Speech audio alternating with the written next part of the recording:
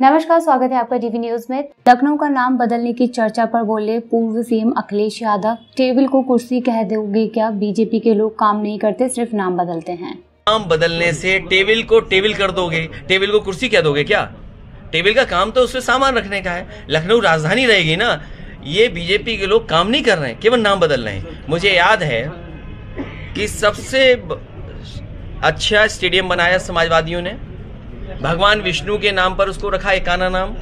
उन्होंने अपने नेता, पूर्व प्रधानी अटल बिहारी वाजपेयी जी के नाम रख दिया। हमें कोई आपत्ति नहीं है। तो क्या बीजेपी को उनके नाम पर कोई बड़ा काम नहीं करना चाहिए? ये काम नहीं करेंगे।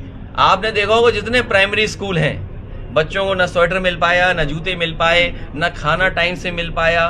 बस पुता दिया इन्होंने। स्कूल पोत दिए होंगे।